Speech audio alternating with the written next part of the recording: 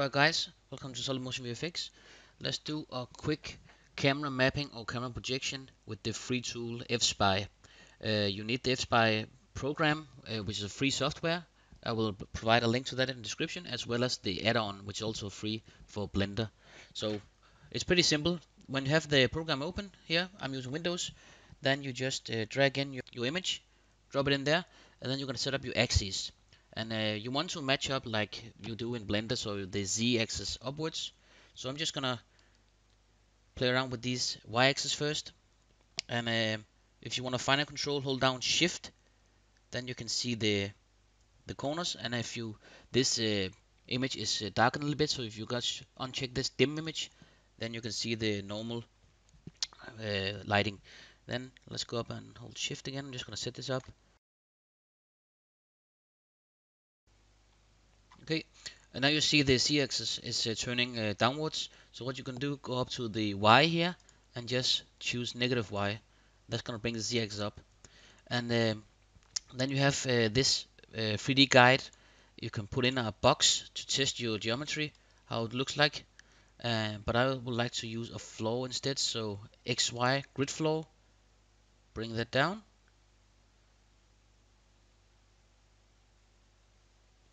Like so and it matches pretty good our scene here. So uh, then you're gonna just save the file and you're gonna save the file as a fspy room fspy dot fspy and just save it out replace yes please. And then you're gonna go in and open up blender. So inside blender I just create a new scene uh, deleted the default cube and camera and everything. And after you have the uh, add-on uh, installed you're gonna enable it import export import fspy project here and then go up to file import fspy find your file room fspy import that's gonna bring in your camera. So that's what you have right now. So let's go in and make some planes here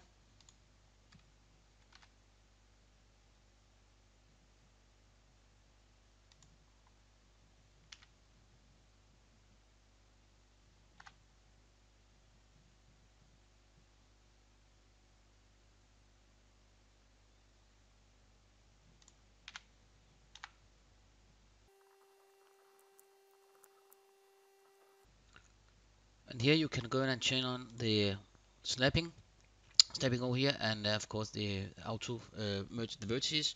So put on auto snapping and put the vertex. Like so. Do the same with the other one.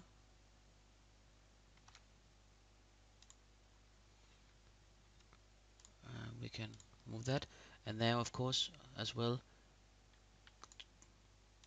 choose all the the top edges and hit F to create a roof here.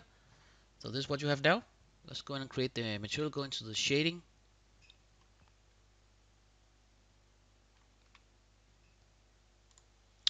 And delete the Principled BSDF. Add in an emission. Plug it into the surface and also add in a image texture and here you can of course choose your file. Okay go back to layout mode. So let's see this in render mode. And here now we want to apply the UV modifier. UV project in the UV map click the UV map. And object pick your camera. The camera is called room f spy here like so and for the aspect ratio what you want to do here is you want to divide this number with this number to get your aspect ratio. So let's just plug those number in. 2560 divided with uh, 1600 that's uh, 1.6 okay so you want to plug that in, in the aspect ratio 1.6 like so. Perfect and uh, then uh, you can uh, either make some loop cuts or you can subdivide it. So I'm gonna actually go in and subdivide it. So add in a subdivision surface modifier put it a symbol and this one I want to move up. So it's before the so it's before the UV project. And then uh, give it a count of try three first. We could maybe say four and then uh, we'll go into the shading again. And from the image sector change from repeat to clip. So we are only seeing we're clipping out everything uh, beside what our camera is looking at. Like so. What you want to do here you can go in and hit your camera hit shift D to duplicate that and then this camera is the one we want to animate. So this camera go to the view. Cameras set active like so. So this one is active and this one you can actually animate now. Just so ever slightly.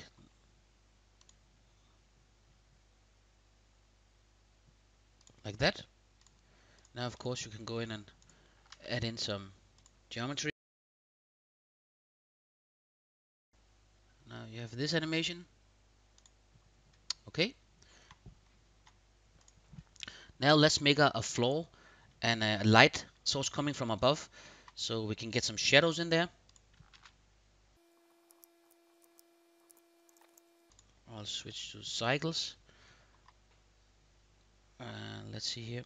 For film make it transparent with the floor selected go down to visibility shadow catcher. Let's add in a light. Let's just do a point. Just play with the light until you get that angle you want. Okay. So let's put a material on the monkey. Let's go into shading. And I just put a material on here. We want to be uh, reflective. So complete re reflective uh, metallic and metallic up and roughness all the way down. So now he should be re reflecting the environment around him. Let's do a quick render as you see we see the geometry scene we have around him. So that's exactly what we want. So for the compositing where we're going to separate the monkey and the floor which is the shadow catcher and the environment inside the compositing. The way we do that is that uh, you're going to make collections. And uh, if you just take the monkey as Suzanne in this you hit M and then you press new collection and give it a name. I gave it a name of OBJ for objects. And inside this objects here I also added in the two lights because if you just render the monkey uh, without the lights you'll just get uh, like a diffuse color without no uh, reflection on so you should have uh, some lights in there as well and the same with the shadow you hit the M new collection and call a shadow and then um, when you I do the same for the room which is actually the whole plan here, the whole geometry we have here. So for this one, new collection and room again. So when you have created these collections, then you're gonna make some layers. And uh, layers is uh, actually how you look at your render layers inside the compositing. So right now, view layer is uh, basically showing everything. So that means the full frame you're seeing here with everything, with the room, the lights, the object, and the floor. And um, the way you create a new layer just hit this button here and say new layer and uh, when you do that I already created a few so I made a monkey and a shadow and a main background which is actually the geometry if we choose the shadow look what's gonna happen on the screen if I pick the shadow you can only see the shadow right now if I pick the monkey you can only see the monkey head Suzanne without the shadows and without the background. So that's how we composite things separately. And uh, if we go back to shadow, the way we do this, if uh, you make you created a collection with your shadow inside here, and then because you wanna uh, isolate the shadow, while you're in the shadow layer, you will go into the object, right click, view layer, and then uh, set indirect only. You will click this button here. When you do that we're gonna see um, only the shadow. So actually let's try uh, clear indirect only. Now you see now we have both the monkey and the shadow right? So right click view layer set indirect only. Now only have the shadow. And the same thing with the monkey inside the monkey here you'll click on the shadow view layer and then uh, set indirect only. So you only have your object monkey here without the without the shadow. And uh, same with the room. The room you just uh, have uh, the actual let's go inside here check main BG so that's just the room by itself without the shadow and without the the Suzanne head. Now let's go in and look at the compositive. So this is how you will set it up. Okay so when you're inside the compositing the compositing is what what uh, is like the view layer almost like uh, where you have all your things uh, composited on top of each other. And the viewer is just showing what you're showing in here but you cannot see everything you cannot see anything unless you actually do a render. But uh, let's delete this one so create three render layers and just shift A search render layer and there it is and just duplicate them. So the first one here you want to call that main background. Connect that to an alpha overlay and the bottom of the alpha overlay you want your monkey. This one. So right now these are overlaying on top of alpha overlay so the monkey head will be on top of the background here. And then you just duplicate this alpha overlay with another one put this uh, on the top and then you want your shadow here at the bottom of this alpha overlay and just connect it out to the uh, composite. And to actually be able to see it hit F12 do a render.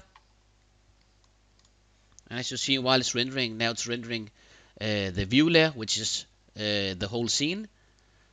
And after the view layer is gonna render all the all the other layers. Now it's doing the shadow which you can see here.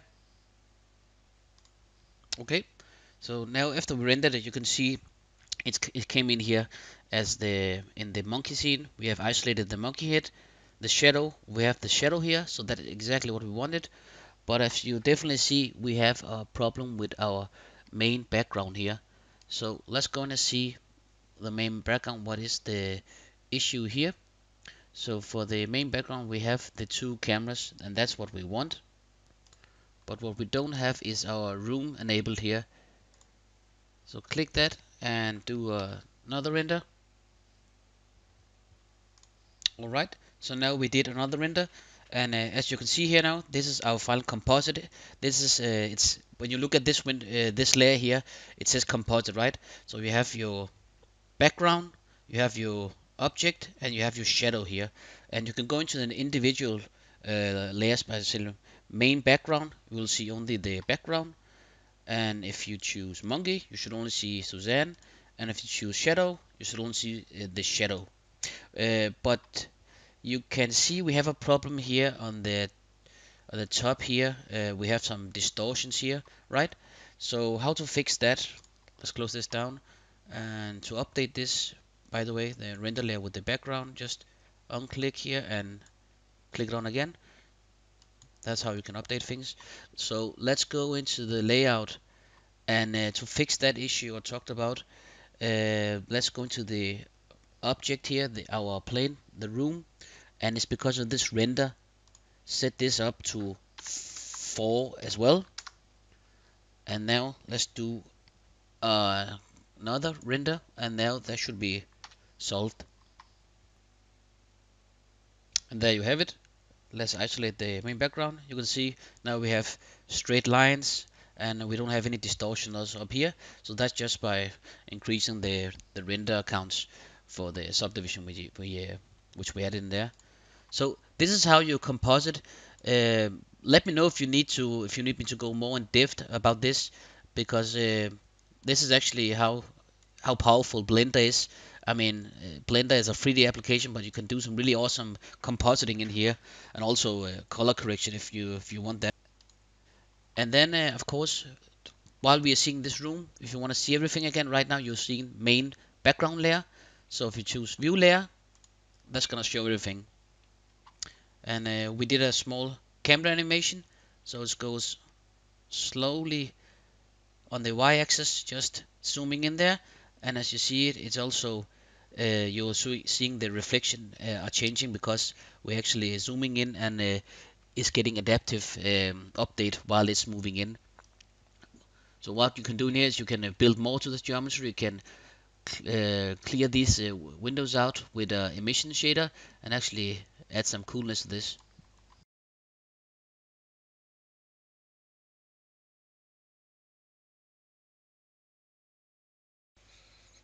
Alright guys, so you can add some uh, emission uh, in there in those two uh, faces, uh, polygons, and uh, basically you can do that with uh, the whole geometry. You can actually change it, and if you have some more geometry in here, like if you have a desk here or any object, then just also block that out.